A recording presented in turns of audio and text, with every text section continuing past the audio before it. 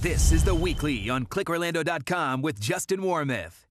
Good morning, I'm Justin Warmoth. The option to take a high-speed train from Orlando to Miami will soon become a reality. Brightline, which is already up and running in South Florida, has plans to start rolling through Central Florida by early 2023. And while excitement is building for the future, today the company is putting an emphasis on safety after a number of recent crashes at crossings in South Florida. This morning, the CEO of Brightline, Mike Reininger, is here to break down the future of high-speed rail in the state of Florida some things that have been happening in South Florida as the trains have been rolled out. What can you tell us about um, some of the crashes, incidents, however you want to put it, um, and the learning curve I think drivers need to uh, get over? Yeah, so Justin, thank you for that uh, as a first question. Um, it gives us an opportunity to talk about the thing that really is central to our business and, and the most important thing for us day in and day out at Brightline, and that really is is safety. Um, nothing is more important um, to to the invent the, the advent of this new form of transportation than for it to be operating safely through the communities that it's ultimately going to be servicing. Mm-hmm. And so in that regard, we've we've done a number of things to ensure that that really is the the ultimate outcome. From an engineering perspective, we have implemented safety equipment and systems and facilities that meet and in most cases exceed all the state and federal regulations associated with um, the operation of railroad corridors. And we continue to invest heavily in even more safety improvements in the form of fencing and signage and delineators and other things that help make you uh, aware of the presence of the of the railroad and the trains on the tracks. From a, from an equally important education perspective, we have had countless tens of thousands of interventions, whether they are in, the form of public service uh, announcements or education programs with local law enforcement and first responders, with school groups, with community groups. We've even sponsored special events where we emphasize the importance of the safety message, all in the idea under the idea of raising people's awareness of the of the of the introduction of trains on the railroad corridor. Mm-hmm. And we do that really on a, on a constant basis. In the end, however, all of that really comes down to reliance on personal behavior. And in that regard, I, I'd like to emphasize two of the most important, really simple rules to follow. Number one is as a pedestrian, it is never okay to be inside the railroad right away.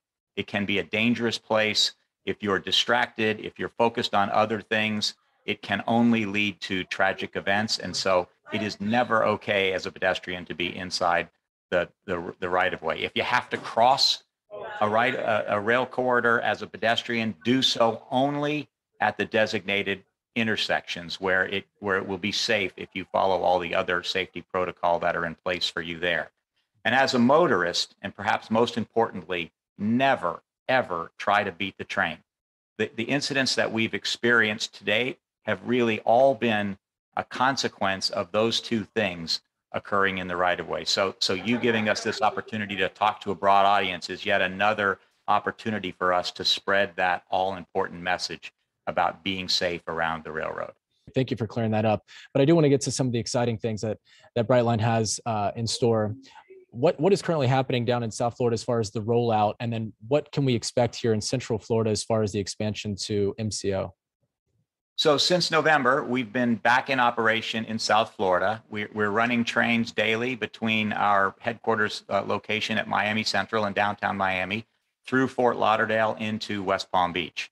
Uh, and we're running uh, trains daily there, and we are seeing um, improving ridership day over day, month over month since we've been back in operation post COVID. Mm-hmm. Um, and um, meanwhile, we're also under construction with two new station locations in South Florida, one in Aventura and one in Boca, which we're looking forward to opening later in the fall of this year, which will add an expanded sort of service profile for us in South Florida. But the real prize, the thing that we've been working on for a very long time, is the advent of service into the Orlando International Airport. And that is really the vision for this alternative form of transportation that we've always been focused on and we're getting very very close to that now this is a down in south florida currently right now you're seeing a lot of folks. I mean, it's a commuter rail. Is that what you're seeing? The the majority of folks who are taking the Brightline is that is that essentially is it a commuter rail? People going to and from work. Yeah, so so we really see a pretty diverse audience of people and and and riding the train for a, a number of reasons. Certainly, going to work is is one of the reasons. Um, the the nature of people going to the work, as you well know, is changing right now, uh, and so we're seeing a little bit of uh, pattern changes as a result of that as well. But there are also lots of people moving around in South Florida for other reasons that are related to sort of their normal day to day life, but also to especially going to things for a leisure purpose. Um, we see a lot of people that are taking advantage of the opportunity to go to events, for instance, um, whereby they can leave their car at home and travel in a much more carefree, car free, as we like to say, mm-hmm. way to get to participate in some of the amazing things that are happening, you know, day to day in South Florida. As we look forward to Central Florida, we see that that is going to be a, another really important element of what this transportation option is going to provide. Uh, as far as I, I hate to compare, um, but they are two different, you know, trains and, and the capabilities are certainly different. But for folks who are familiar with what Sun, Sunrail provides here in Central Florida, how will Brightline compare and will that be more of a, a partnership in the future? So ultimately, the what, what, we what we do is what we refer to as intercity service. Our our our our everything about our service, our stations, our trains, the onboard experience, everything is really geared towards providing a better way to travel. And the longer you're on the train, the more you appreciate the experience of the upgraded um, scenario that we offer on our on our system. We think at the end of the day, however, it works importantly with local commuter operations. We think of them as feeder systems, which help us expand the network of connections that we can make for people that are trying to travel in some way other than using their private cars on what are you know severely overcrowded roadways for the mm-hmm. most part all over the state of florida florida has been the beneficiary of, of a tremendous sort of economic growth pattern for years uh, as of late has been really accelerating in that regard. But the consequence of that is it puts pressure on our existing infrastructure. So our investment in an infrastructure system that relieves um, some of the pressure on those existing road systems and gives you another way of getting around is really what Brightline is all about. How does a Brightline train compare to trains of the past, and why is it why is it more efficient? Why is it better for the environment? Well, listen, inherently, traveling by train is is from the start significantly more environmentally friendly than the alternative somewhere between two and three times more environmentally friendly than the alternative of cars and and flying our particular trains are um, taking that sort of a notch up they these are the most state of the art uh, diesel electric trains that have ever been manufactured in the united states we burn biodiesel which is yet another level of sort of um, uh, improvement that we make the overall performance from an environmental perspective. I talked about our new introduction of the Brightline Plus service. That is premised on an electric vehicle base. So if you're using our, our premium level service, you'll be picked up and dropped off in electric vehicles. If you're using our smart service, a combination of electric uh, enclosed golf carts and um, shuttles will also be a part of your experience. So, so we focus heavily on all aspects of the environmental footprint of our service, including that associated with the transportation service itself. Coming up, we'll go over ticket prices and the amenities on board, plus the possibility of eventually expanding service to Tampa. Stay with us. This is the weekly on clickorlando.com with Justin Warmoth. Welcome back. By this time next year, you'll likely have the option to take a high-speed train from Orlando to Miami. Brightline, the only private passenger rail company in the U.S., hopes to wrap up construction in Central Florida by late this year. CEO Mike Reininger is back with us now and explains what it'll be like when service gets underway. When this ultimately becomes um, in full service from Miami to Orlando, what does that run? What does that look like? So we've been under construction with the extension from West Palm Beach into Orlando for a couple years now. Um, at the end of this year, we will complete that construction effort. Every day that goes by, we get a little bit closer, but really we're targeting the end of this year, sometime in December, that the construction effort all the way into the Orlando airport will be complete. Immediately thereafter, we'll be completing our training exercises for our crew, uh, and then we'll be running the service from Orlando International Airport all the way down into Miami Central Station. It's a trip that will take about three hours. Mm-hmm. It will be completely hassle free. It will have the availability of a new service that we've just launched called Brightline Plus at both ends. Brightline Plus is really a ground transportation service that will be added to your train connection, which will allow you to have a true door to door service. Within our service radiuses, we can pick you up wherever you are, bring you to the station, let you board the train, and then when you arrive at your end destination, we'll take you to wherever it is that you want to go. So we call that the first and last mile connectivity. All of that will be available in a completely branded experience end to end. And so as far as ticket pricing and and user experience once folks do get on the train, I mean obviously Wi-Fi is so important as folks work. Um, but what does that look like? What it, what will it cost? Um, and let's go over some of those those factors.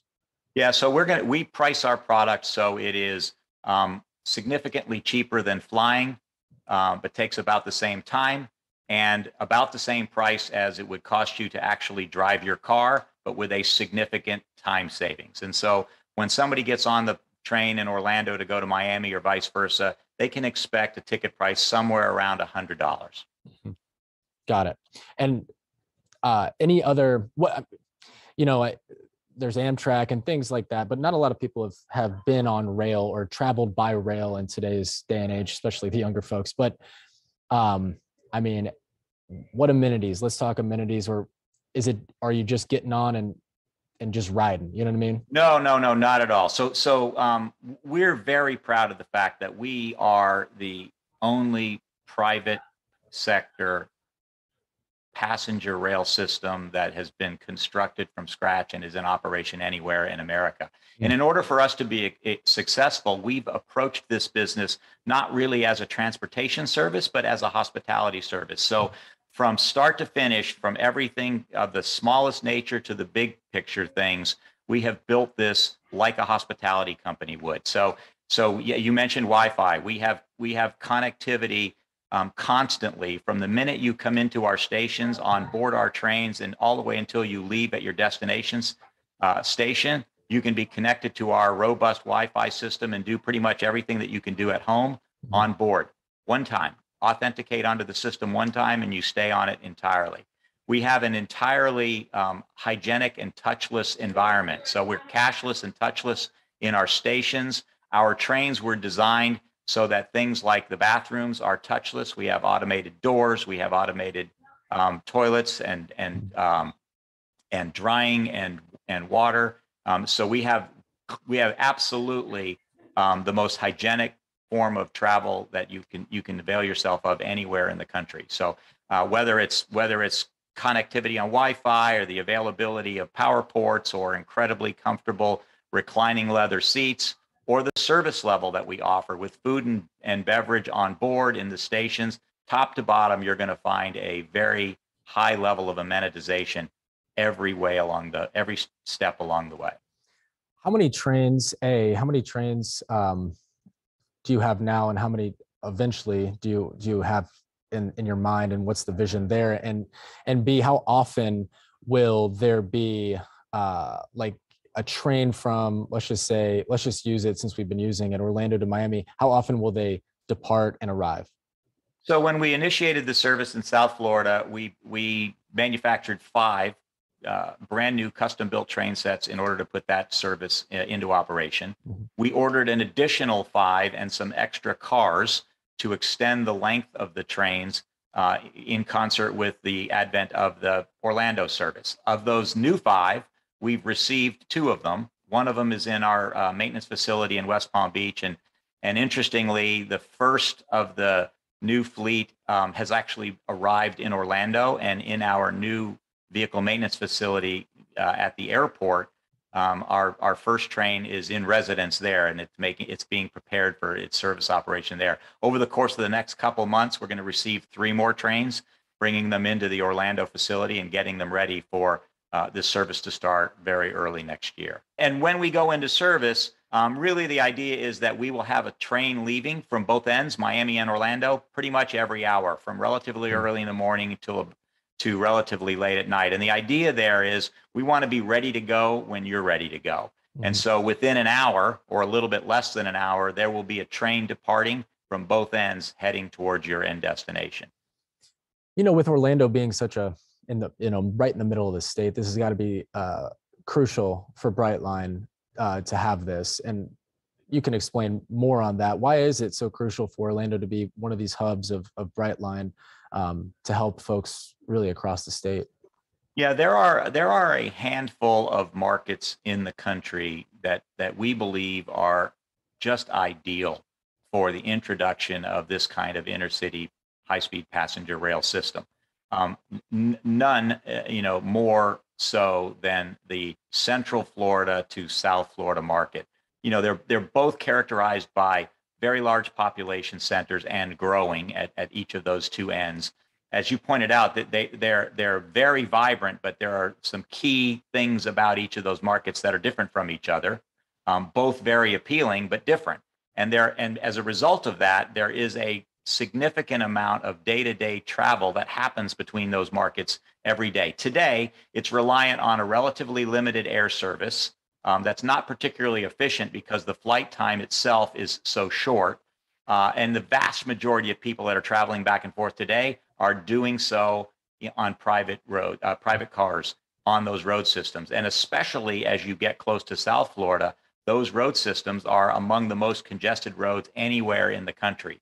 So it's against that backdrop that the introduction of a smarter way to travel becomes a real important uh, alternative for people's mobility needs. And that's why we chose Florida as the place to introduce this groundbreaking new kind of service into the American marketplace. You know, I I know there's only so much you can tell me, um, but I have to ask this because I think folks at home are wondering, uh, what what about Tampa and and eventually i know that that's mm-hmm. something that you, you have said in, in, the past but what can you what can you say about you know i know we're still need to get through orlando and, and that expansion but what can you say about the future of of maybe orlando to tampa?